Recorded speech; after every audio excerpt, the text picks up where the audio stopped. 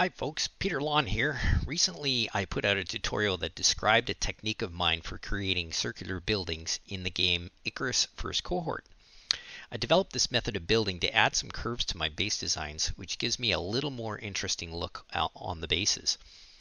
Uh, because people learn differently, I've recreated the overall build process in a 3D graphics program called Blender, so you can see how we put it together in a bit of a different way. So first we're going to start out by building a 4x4 floor grid on a reasonably flat area. So it should be a reasonably flat location. Uh, we're going to then install a uh, center beam in the middle of the um, 4x4 grid, sort of free placement. Um, and uh, it's going to be sticking up slightly above the floor plates we put in there. And then we're going to put in some horizontal beams um, and then attach some vertical beams to the ends of them um, and do that uh, on four sides of that center beam. So you'll see here as we uh, drop the beams in, we put the little vertical beams in, we delete the horizontal beams as we go until we get this little pattern right here, which is basically you know five beams um, sitting there. And so then the next thing we're going to do is, and I show you in this video how we actually do this. We stand on the center post and then we copy the, or we don't copy, but in Icarus we drop down beams just adjacent to the uh, the beams that we've got there. So we're going to build out a our first quarter circle of beams tightly packed together. There should be nine uh, that you place in between those two uh, beams there. Uh, you only have to do one quarter of that because you'll watch here as we place the um, the additional beams off of there. Um, you can then put down a horizontal beam sort of in an X pattern and drop vertical beams in on the end of of the uh, the beams themselves. So so we use the, the the quarter circle as a guide, and then drop the end beams on each one of the uh, the x's that we do. We then delete the the x's, and then we do the same thing for the next um, beam that we've got on our uh, quarter circle. And you can see here we drop the beams in, then we do the next section. Vertical beams go in, and then we'll kind of speed this up a little bit. You can see the pattern we're doing. So this is a lot more accurate than I showed you initially where, where we were standing on the center and doing the whole thing all the way around. Uh, you only have to do a quarter of the circle and then you know let the snapping uh, take over and give you a perfect circle. So this is what you'll end up with. Um, so then the next thing we need to do is lay a bunch of uh, horizontal beams that are going to basically follow the circle that we've got here. So if you see, we'll start here on this one side. We'll drop down a, um, a horizontal beam there.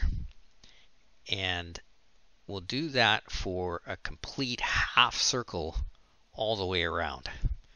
So you do need quite a few beams in your inventory for this. Um, but we're going to just drop all these beams all the way around to the other side to get a full half circle of beams laying down like, like so.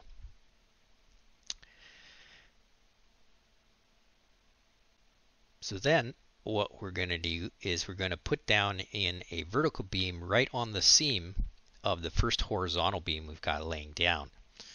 Um, we'll put it just so it snaps there. Well, it won't snap. This will be a free placement that you'll be doing. Um, and in, in, the original video, you can see how we do that.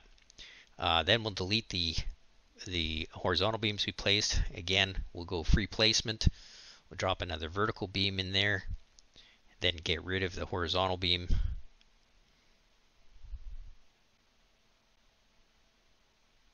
And so on and so forth all the way along as we go. So you do reclaim some of the beams as we go. And um, I'm going to kind of speed this up a little bit because you get the idea now what we're doing here. And this is, we only have to do this for half of the circle. In my original video, I showed you doing, you know, the whole thing like this, and it's fairly time consuming.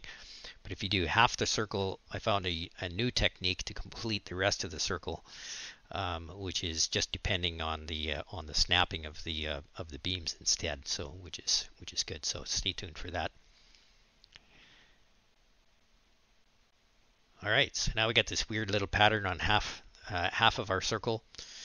Um, what we're going to do now is we are going to basically uh, do sort of an L arrangement um, off of uh, each one of these beams, vertical beams we set up. So we go two down and then one over, and then we drop down a vertical beam at the end of it.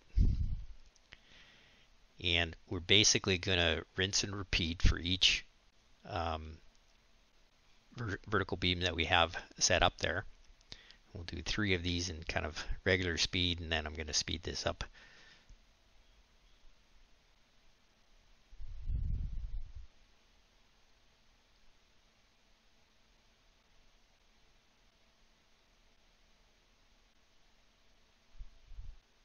So this is a lot more of an accurate technique than the original way I showed you. You um, you'll you'll get pretty pretty clean circular building doing it this way.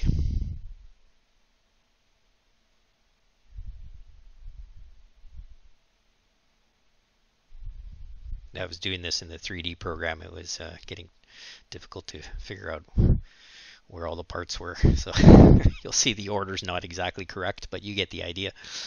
Um, all right, so we end up with this weird arrangement. Now we can actually basically delete our original inner circle beams because um, we don't need them anymore.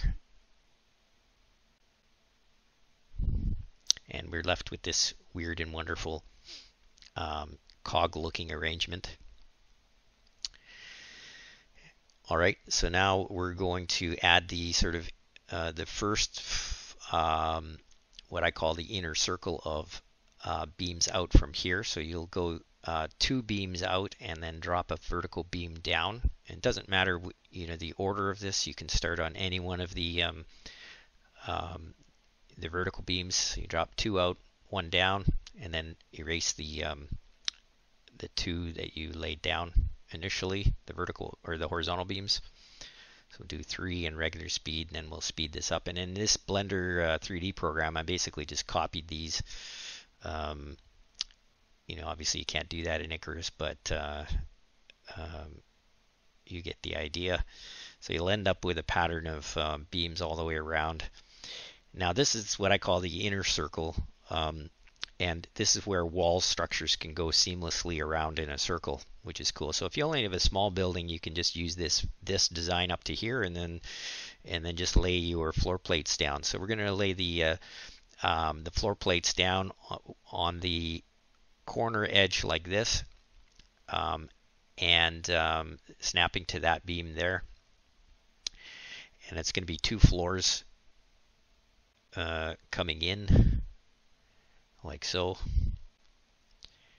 And we're going to skip every second beam on this inner circle. You'll notice I jump over the, the one beam. So every second one is going to get a floor plate and then heading back towards the center of the circle, right?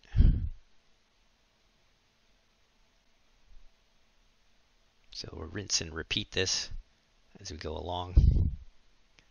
And now I'm just gonna I'm gonna use Blender to copy this all the way around because it's just easier and faster. And this is what you end up with so far um, with what I call my inner circle. Uh, and you can have walls going all the way around the outside of this uh, in a very seamless fashion. Now the next uh, sort of section is if you want to build a bigger circular building, you can go three more out and one down. And this is going to be uh, uh, basically you just drop your vertical, you know, get the three reference horizontals out and then you drop the vertical in and then you can delete the horizontals and reclaim those beams. Again, same thing can extend these out. Now, if you're on a hilltop like I was, uh, I came in on an angle for those, so it's a little bit of a different technique, but it's just generally you're following the beams all the way along. Again, I'm going to use Blender to just sort of copy these, and it, it just so happens these are all 9 degrees apart for the whole. So there's 40 beams in, in the circle. Um, and um, yeah, so now now again, you go it's it's easy to start with an existing floor plate and then extend out to a beam. So in this case here, um, what I do is I, I go out to the outer beam with three floor plates. And then what I do is I actually build backwards from the from the next beam back. Um,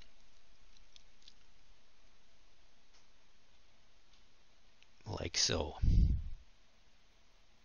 And then again, building out, start with the inner beam and build out, or the inner floor and build out, and then go from the outer beam and come back in.